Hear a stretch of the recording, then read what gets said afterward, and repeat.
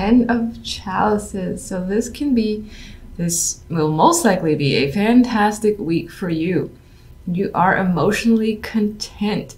This is a high. Usually, this is an emotional high for me where it feels like everything is going well. If there's anything in particular that you wanted, you have it this week or you've experienced it. And again, you're just satisfied. Very satisfied this week. So you come in though with the Four of Swords, meaning to start the week can be a bit slow moving, or this is you again just feeling relaxed. You might be coming back from vacation. This might be vacation week for you with the Four of Swords. Some of you could be recovering from something as well. And in terms of any form of recovery, just looking at the cards, you just you overcome any difficulties that may have happened. All right. Following the Four of Swords, we have the Two of Wands. So some of you may have taken this break in order to contemplate a plan, a decision of yours, and you have figured out a solution. You know what you want to do. You're clearly choosing a direction, looking ahead, and now it's about movement forward and making things actually happen. Some of you have already put plans into action or are waiting for the results. And again, there's um, this vibe of just looking beyond, looking into the bigger picture and the future. And I get a very hopeful vibe, very, very hopeful. Here you are, here you are with the sun. So adding to the 10 of cups is the card of happiness. Now, sometimes this can illuminate things that have been in the dark. Uh, that might be the case. If that is the case, regardless of what's being illuminated, anything that's being revealed, you are enthusiastic and happy about it, all of it is in your favor. So, definite, definite vibes of um, positivity here. And I think in this case, with the Two of Wands and the Sun, you're choosing to do something that you know will make you happy, or it could be, or it could be a choice that is being made. Whether it has to or it's been planned for a long time, it leads to the sun. So again, you're just really satisfied with how things have turned out. Finally. All right, so let's get some additional cards. We have you here with recovery of the Four of Swords, or at least at rest. Why, though? Not that there's anything wrong with that. Queen of Pentacles. This is all about feeling comfortable and secure with your finances, with yourself, with your environment. So I think that's what this is about. This is more about peacefulness that you have with yourself and the sense of security. I feel like maybe previous weeks you have been stressing out and that for this week at least is no longer the case. You just you're just at ease and comfortable. There's definite sense of comfort here with the Queen of Pentacles. This may very well be your energy. Now this could represent someone else in your life that you've either taken a break from or again you've repaired a relationship if there is a separation that has happened, is very it's definitely temporary, and whatever the case may be, moving forward, you're happy with the outcome. So I wouldn't worry about it. For the most part, I think this is your energy and the sense of feeling at peace and comfort with yourself, with your situation overall, and with with the way things are turning out for you. Two of Wands, you're making a choice. What are we choosing? We're choosing to end a situation or leave something, uh, say goodbye, something, and there's no real sadness here again because the sun follows. I think you know something has come to an end, so it's best to separate yourself from that situation. This could be a job, relationship, friendship, anything again that I feel that you feel has been holding you back in some way or not really benefiting you it's it's something that you want to say goodbye to. Some of you might be choosing to, you know, do or take part in something that would be a dramatic change, whether it's doing something for yourself, for your appearance, or moving, or something that would maybe uproot your life in a way. It could be a very dramatic change because death is also the ending from one situation to another. So that change is something that you're excited about and you're looking forward to what comes afterwards, which appears to be the Sun and the Ten of Cups.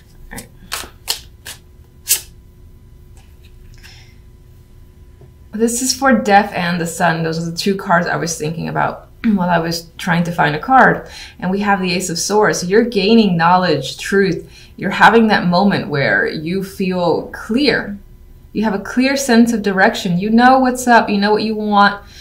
You are a very strong communicator this week as well. You have fantastic ideas, and I think your brain is running with a lot of thoughts. And there's just this sense of having a lot of desires, a lot of things you want to do, and being very active as well. A lot of that activity might be mental with Ace of Swords, but I just feel like this would be a very strong, victorious week for you in general. Ten of Chalices. All right, we got to buddy the Five of Swords. So we got one little card that we don't want here. um, okay. I'm going to take this one too. All right. So we got three cards now. We have the Five of Swords, and I think this is a vibe of. Let me just take a look at this again. All right, on some level, you might have feel that you've gotten away with something, but I don't really see it as a negative because I think the Ten of Chalices and the Sun and the Ace of Swords are so overpowering that I refuse to see any negatives for you this week. This could be a fear you know, in the background that, oh, okay, you're experiencing the high of Ten of Swords now. Are you going to lose it? Um, how do you keep it? There could be worries going on. There may be some deception lingering in the background, or you're afraid of some deception. And I get that fear. So this isn't necessarily an actuality where you're being deceived or something's going on behind your back. I think you might be concerned about it because you're so used to it you're like, this is too good to be true. How can this be? You know, what's going to happen? It's going to be taken away from me. I've got to be cautious. I've got to be careful and really hang on to the Ten of Cups because I don't want it to go away. That's the vibe I get with this combination. This is more of an internal fear of yours of it being taken away, of it feeling like, oh, this can't be real, which is the deception part of the Five of Swords, I believe. And then we got the Six of Wands as the third card for that trio. And what is the Six of Wands but victory? And here's the Sun. And I feel like, despite the fact that you have some background worries because of your experiences, you're going to start to see the light. You're going to start to see that, oh, maybe things are headed in a positive direction finally. And there is something to be happy about. And I think you're going to go with the flow and move forward and just enjoy the moment. That's not to say that, again, that here and there you're gonna like worry but for the most part i think you're gonna enjoy some strong victorious energy and uh, feeling successful and feeling content with the direction that your life is currently headed so those are the cards that are coming up for this week i love them uh, with these cards i would say whenever that energy comes into your mind just tell yourself you know enjoy the moment how often does the Ten of Cups or that feeling of bliss comes in and stays there? Just enjoy it while it's there. So here we have in the middle, we have the King of Swords. He can represent yourself as the swords or represent someone that you're dealing with. In terms of that person that you're dealing with, they might be a very detached personality. Uh, not necessarily hard to communicate with, but hard to get to know on a deeper level, and they could just be like aloof and whatnot. Not my favorite king, to be honest. And I would say that in terms of personality, they're definitely leaning towards the cold energy because the Eight of Swords is next to them. And the Eight of Swords again, that's you feeling trapped or stuck in a situation or anxious about this person. And you're anxious about what this person has to say. Now, they could have sent you a very long email, very long text message, or they, again, this is documentation of any kind and it's lengthy. And whatever's in this message, whatever this information holds, again, you're, it's bringing up these feelings of anxiety for whatever reason. And as I said, this could just represent you as well. Again, you're just receiving some sort of information here that you're not sure how to respond in return. Maybe you expected different results. This could, of course, be work related, whether it's a job offer or opportunity and you're anxious about taking it, or you're not sure if you should. There's questions surrounding what this knight is bringing. Having said all that, you're still feeling quite hopeful about your situation. You have the star, so this is promising energy for the week. You're not losing faith, and you think that things will work out in your favor. But I need more information. So let's get. All right, so the knight is sharing something with us. That's more most likely some form of again contact. What is it about? What is this contact about?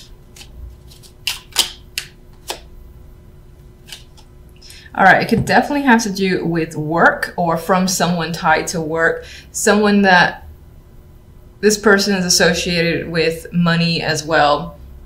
So this could definitely be some sort of documentation that ties into finances in some way and you've been waiting for it. This could be someone offering that job opportunity as well because again, this is these are both pentacles.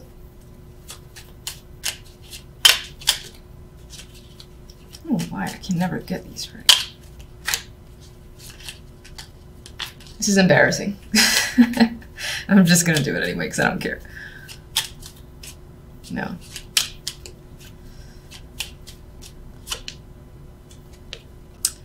You are quite stressed, or you have been stressed. It is sort of diminishing because it did come out reversed, um, but you're not sure what to make out of the situation. This, again, as some sort of documented results that you've been waiting for, or even, again, that job offer you're not sure how to respond. There's something that is tying to anxiety here for you. There's a lot of questions on your mind as well. You might feel like you need to talk to someone to alleviate your concerns. All right, we have the King of Swords in the middle here, and the King of Swords has the Page or Knave of Chalices in this deck. And this could be someone who's reaching out to you, and this is an emotional connection. They're sending some sort of uh, love message here. It doesn't necessarily have to be romantic. You could also be reaching out to them. Uh, this person could have a child. Maybe in this situation, there is a younger person involved as well. What else?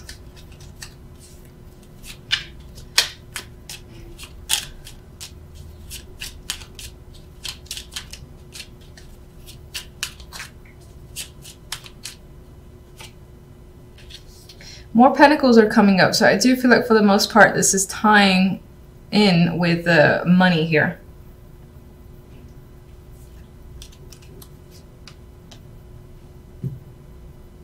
Like this could involve custody, for instance, because this person usually hang on, they hold on to their assets and uh, this could just be about assets in general. This person wants to hold on to them. They're reaching out and talking to you about the situation, and they're maintaining, again, this detached point of view.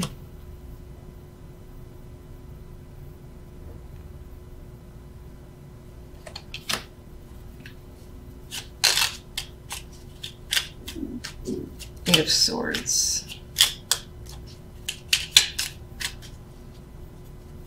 could definitely be discussions about how are we splitting up assets and this person wants to protect themselves what they have Eight of Swords, you have the Fool. And I think for most of you, you don't want to be played the Fool. You're stressed out about coming out uh, worse than you went in when it comes to this situation. Some of you do want to start over, but you are nervous and anxious about it. You're afraid of it. You don't know how you're going to do it, how are you're going to manage it. And yes, this is definitely about movement forward. Some of you involves travel or moving to a new house or place of your own. And I say of your own because it's the Fool here and they're pretty much taking a journey, a brand new journey by themselves, minus the dog that's going with them. There is another person on that boat, but I'm seeing this as solitary. So I feel like you and another person, uh, this is about separation of assets there's also this um, story here about waiting for results to come in and being stressed about that situation.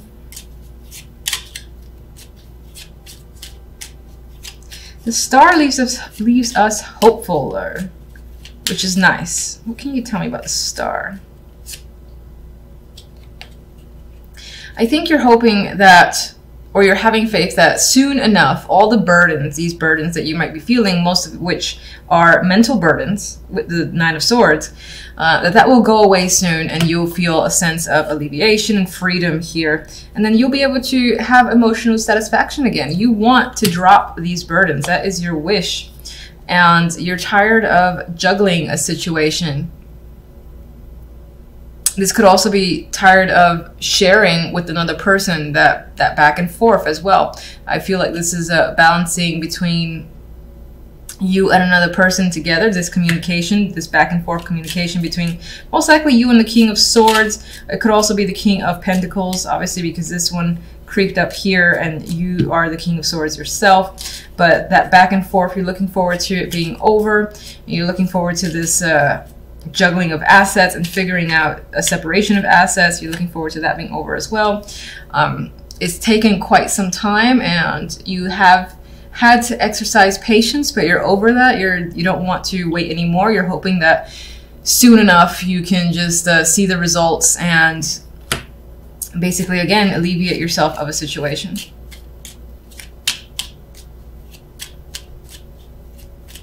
What is the Knight of Pentacles going to tell you? Well, it looks like whatever news is coming in, this information or documentation is good. And it's in your favor. You're most likely just stressed out waiting for it. Mm, too many cards. All right, let me get one more for the Eight of Swords. And I want to get this Creeper. You got another king, so either there's multiple people involved or this is aspects of another person's personality. I mean, you have the grounded earth energy, tied, a person that's tied to work potentially, and this person who you may be tied to emotionally, it can be a water sign. He, in this deck in particular, he always seems like the big drinker to me. Uh, doesn't have to be, could just be someone who's very much in control of their emotions